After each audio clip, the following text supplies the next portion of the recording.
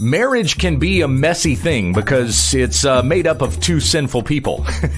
but marriage can also be a wonderful thing that honors the Lord. And God has given us instructions in His Word when we understand the text.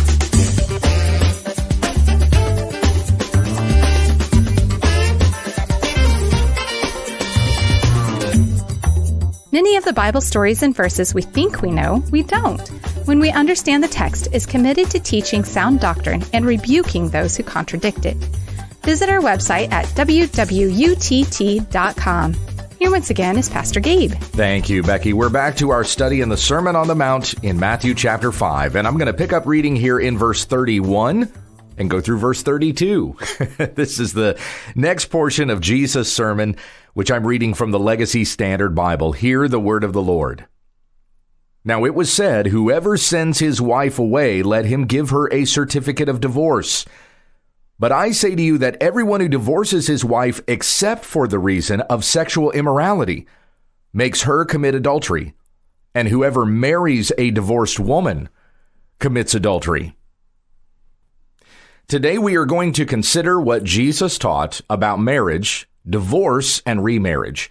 Now, this particular episode, like most, is just 20 minutes long, so this isn't going to be terribly exhaustive, but I think we'll give a good understanding of what Jesus teaches here and then later on in Matthew 19 as well. First, let's get very basic. What is marriage?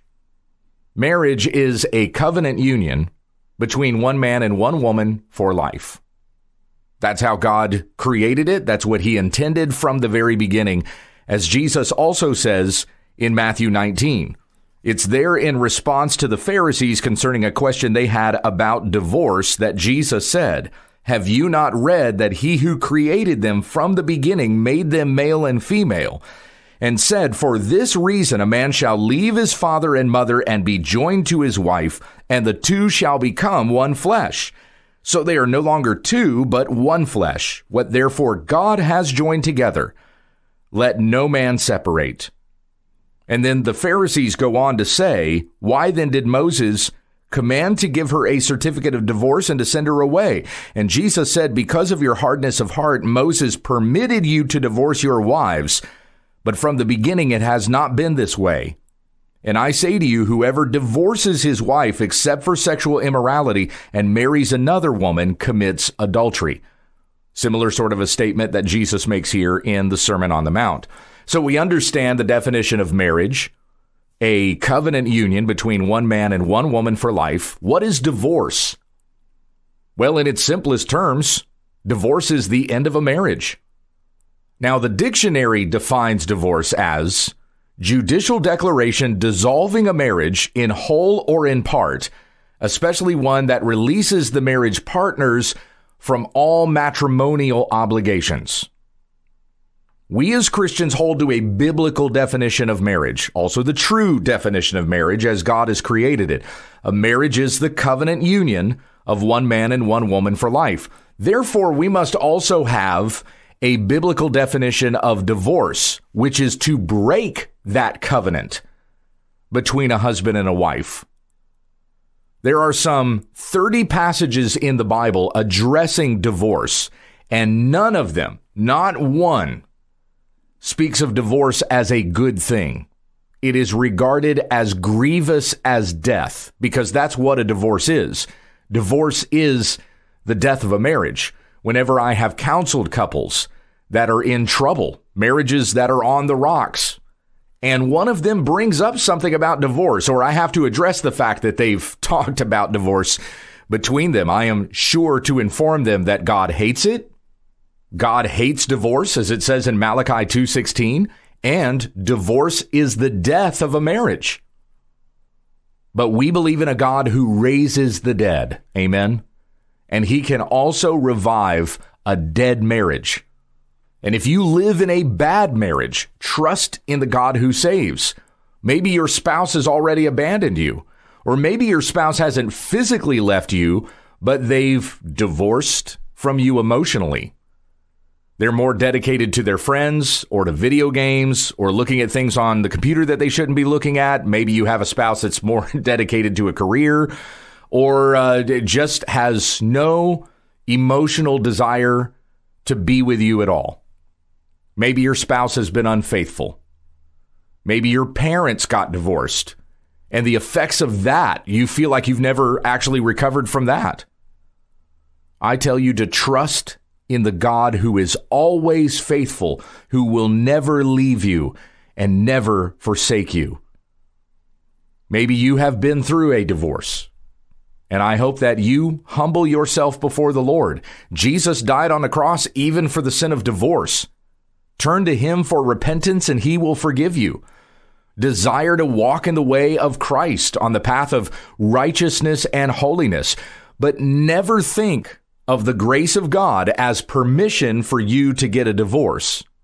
Now, here in these two verses, Jesus gives an exception clause. Verse 32 I say to you that everyone who divorces his wife, except for the reason of sexual immorality, and we'll come to understand that further here as we go. Whenever we start talking about the subject of divorce in our American context, especially, you almost always hear this statistic 50% of all marriages in America end in divorce, right? You've heard that stat before? Well, that statistic is not true. It's based on an inflated number that came out in the 80s when the divorce rate peaked. And boomers, I hate to break it to you, but that was y'all. The the worst divorce rate in America was in the 80s and it was the baby boomer splits. And by the way, the first president to endorse no fault divorce was a conservative, or a quote unquote conservative. It was Ronald Reagan. When he was governor of California, he passed the no fault divorce law. And then that, of course, it was just a matter of time before it infected all of America. Divorce is rampant in this country. I don't I don't say the 50% statistic is false to make you think, see, divorce really isn't all that bad. No, it's so bad it's its own cottage industry. It's a $50 billion a year industry in America. Of course, you've got lawyers that make a lucrative living out of divorce litigation. But you've also got uh, divorce party favors that you can buy. If you go on Amazon.com, you can find decorations for your divorce party. And this is not in some in the dark corner of the culture. It's right there in the middle of pop culture. Tabloid newspapers wouldn't exist if it wasn't for superstar divorces and high profile marriages that get dissolved and things like that. But for all the culture's attempts to to dress this up or celebrate it or even make divorce into something fun, no one truly thinks this is fun. Does anybody ever get married thinking, meh, I can always get a divorce later? No. People get married thinking their love is the greatest love that's ever been loved and no one's ever loved anybody as much as I've loved you. No one gets married wanting to get a divorce. There was a song that came out years ago. This came out when I was in college. It was by the artist John Mayer. He had a song called Home Life, in which he sang, I can tell you this much I will marry just once. And if it doesn't work out, give her half of my stuff. It's fine with me. We said eternity. Now, excusing the nonchalant line, it's fine with me, I believe Mayer recognizes that marriage is supposed to be a lifelong covenant an oath bound relationship between a man and a woman, a husband and a wife. And that is why marriage ceremonies almost universally include the giving of an oath or the exchange of vows. Now, there are some that write their own vows, but the traditional vows, and I would encourage you to stick with the traditional vows, the traditional vows declare this you and no other, to have and to hold, from this day forward for better or worse, richer or poorer, in sickness and health, to love and to cherish, till death do us part. That is God's intention for marriage. And dare I say, it's even bound up in human nature. He made us to understand this concept. There are people who are unbelievers who don't believe the Bible that understand the concept of till death do us part. We should be able to understand through general revelation the lifelong commitment that marriage is supposed to be. We were we were not meant for serial relationships, jumping in and out of of of a relationship with this person and then with that person and then jumping into this bed and into that bed. that is nothing but selfish. It is nothing but hedonism, feeding the appetites of the flesh. Humanity cannot survive that kind of carelessness. And we're seeing how it's tearing apart our culture, tears apart families, ruins people's lives. Marriage is the solid foundation of a solid family. And you know, you know that without me having to tell you. Families are families for better or for worse. Without families, we don't have community. Without community, we don't have society. The family is still the basic building block of a civilization. We get this. We just don't want to. When I say we, I'm talking collectively as a culture. We should understand how this is supposed to work. We just don't want to make it work. So then, it's through special revelation when we come to God's word, that we are cut to the heart when we read about God's intention for marriage and we realize that we have not held to that standard. In Genesis 1:27 God creates man in his own image, male and female he created them. And then in Genesis 2:18 the Lord said it is not good that the man should be alone. I will make him a helper fit for him. So the Lord caused him to fall into a deep sleep he took one of his ribs, closed up the place with flesh, and the rib that the Lord God had taken from the man, he made into a woman and brought her to the man. And the man said, This is at last bone of my bones and flesh of my flesh. She shall be called woman because she was taken out of man. Therefore, a man shall leave his father and his mother and hold fast to his wife, and they shall become one flesh. Now, those are words that Jesus doesn't repeat here in Matthew 5 31 and 32 but he does repeat them later on in Matthew 19. We're going to come at this subject again as we continue our study through the Gospel of Matthew. We will eventually get to Matthew 19 and, and this will come up again. So we'll have another opportunity to go into this in a little bit more depth than just the, the couple of verses that we're looking at today. And by the way, this subject affects everybody. Lest you saw the title or heard me read the opening passage in this devotional and you thought, well, well, this doesn't pertain to me today. I'm not even married yet. Hebrews 13:4 says, "Let marriage be held in honor among all." And let the marriage bed be undefiled, for God will judge the sexually immoral and adulterous. So, yes, this concerns you too. You, as a brother or sister in the Lord, have an obligation to see to it that your brothers and sisters in the Lord remain true to their vows. And where you see a marriage, you better not do anything to infringe upon that marriage, to try to break it up or, or do anything that would come between those vows and that covenant. For the Lord will judge the sexually immoral and adulterous. You need to understand that. And you need to recognize that sex is made for marriage.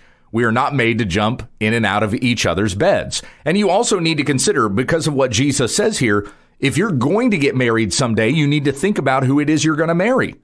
For once again, Jesus said, I say to you that everyone who divorces his wife, except for the reason of sexual immorality, makes her commit adultery, and whoever marries a divorced woman commits adultery. So you need to think about that before you get married. In verse 31, Jesus mentions here a certificate of divorce. And we read about that in Deuteronomy 24, 1 through 4. When a man takes a wife and marries her, if then she finds no favor in his eyes because he has found some indecency in her, and he writes her a certificate of divorce and puts it in her hand and sends her out of his house, and she departs out of his house, and if she goes and becomes another man's wife, and the latter man hates her and writes her a certificate of divorce and puts it in her hand and sends her out of his house, or if the latter man dies, who took her to be his wife, then her former husband who sent her away may not take her again to be his wife after she has been defiled, for that is an abomination before the Lord. And you shall not bring sin upon the land that the Lord your God is giving you for an inheritance. So this is the only Old Testament law about divorce.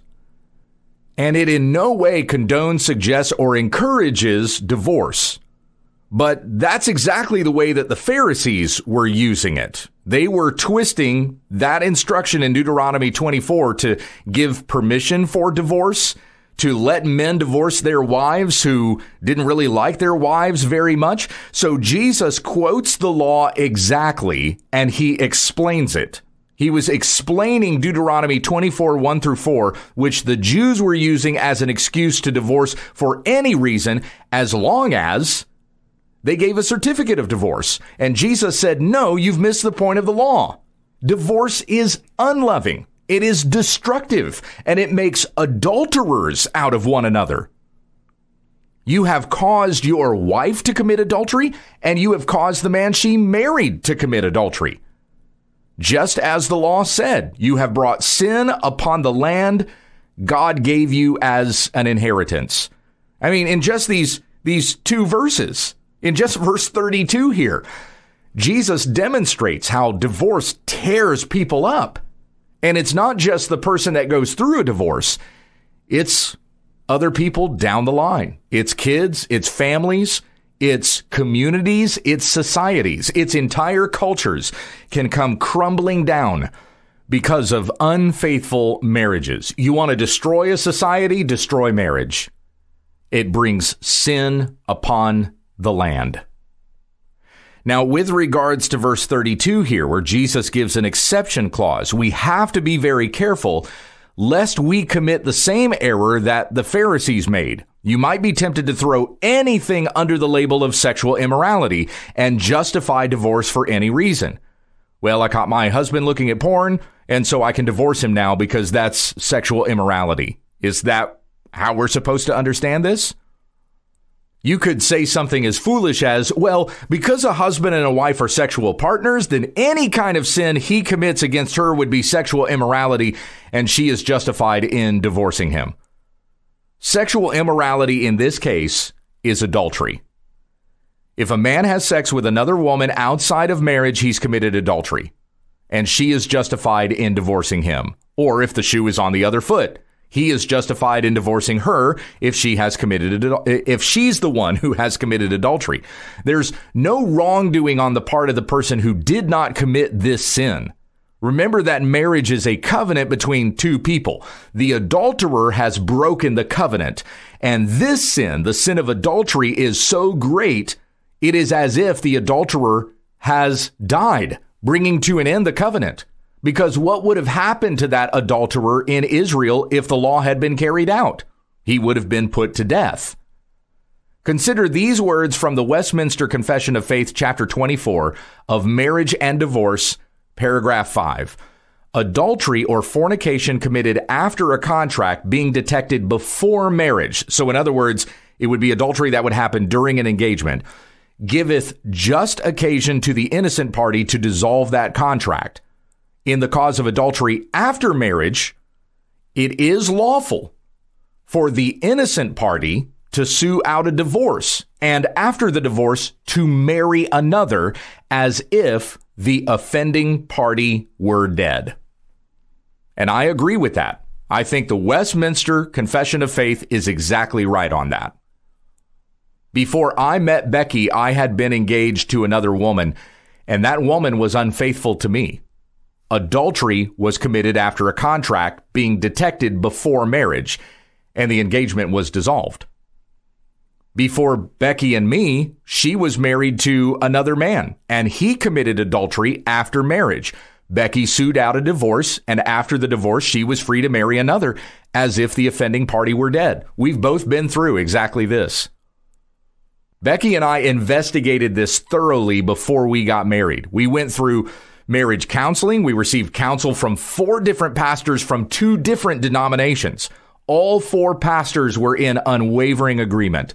We had just reasons for our separations, and our marriage was pleasing in the sight of God.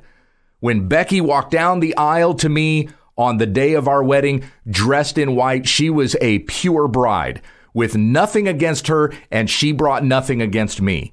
Our efforts were not an attempt to find someone who would tell us what we wanted to hear. We wanted to do what honored one another and what honored God. But there were people that didn't agree with our wedding. I had uh, some very fundamentalist family members who emailed me and tried to oppose the marriage. One of such persons I managed to convince that everything that we were doing was pleasing in the sight of God, and he ended up coming to the wedding. And I was very thankful for that. Becky and I have been a picture of how the grace of God covers over our sin and brings something beautiful out of it. We were both in terrible relationships before we met each other. We have a great marriage but that is against our natures.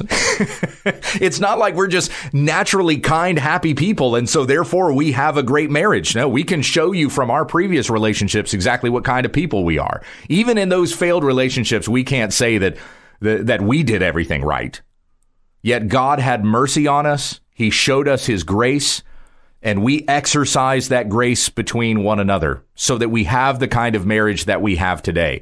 And we become a testament to say, that if God can bring us up out of the ashes, if he can turn us into the beautiful family that we are now, he can redeem you as well. And even if a happy marriage is not in your future, that breaks my heart. But even if that's not what's going to happen for you on this side of heaven, you can still know with confidence that you are forgiven your sins. You are a bride of Christ and will be united together with him forever in glory. That's the eternal marriage we should be looking forward to. See, marriage on this side of heaven is a picture of that marriage when the church is with Christ forever in glory. God will be faithful to his promises, even though people are not.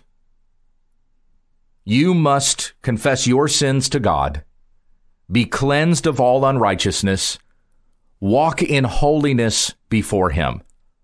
If you are in a marriage that's in a bad place, do what you need to do to make it right with your spouse.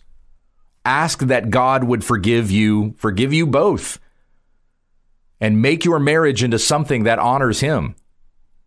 It's not going to be easy and it doesn't happen overnight. But if you believe in a God who raises the dead, He will also raise your dead marriage back to life. In all things that we do, friends, let us honor Christ with our whole lives, knowing that He forgives us, He makes us new, knowing that He is promising us an eternal kingdom for those who endure to the end. Heavenly Father, we thank you for this gift of marriage that has been given to us to be a picture of the, uh, of the relationship that Christ has with His church. But of course, marriages are made up of two sinful people, and we don't always get it right. So have mercy on us and teach us to have mercy on each other, to be selfless in our marriages, for Christ was selfless toward us, giving his own self, dying on the cross for our sins, rising again from the grave, so that whoever believes in him, our sins can be forgiven and we have eternal life.